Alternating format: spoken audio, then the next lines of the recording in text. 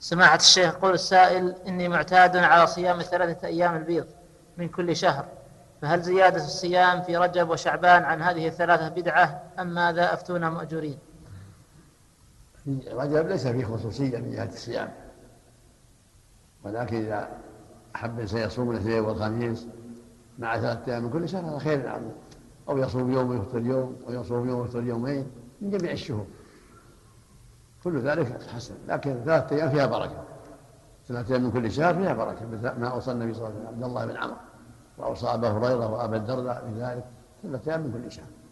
وإذا كانت أيام البيض الثالث عشر والرابع عشر والخامس فهذا أفضل. والحمد لله فيها الكفاية أما رجب فليس فيه. عباد خاصة سوى العمرة. كان السلف يعتمر في رجب وثبت عن ابن عمر عن النبي صلى الله عليه وسلم أنه اعتمر في رجب وبعض الصحابة أنكر عمرته في رجب وذكر ابن سيرين وذكر ابن رجب رحمه الله في اللطائف عن ابن سيرين أن السلف كانوا يعتمرون في رجب وذكر ذلك عن عمر وبعض الصحابة. نعم.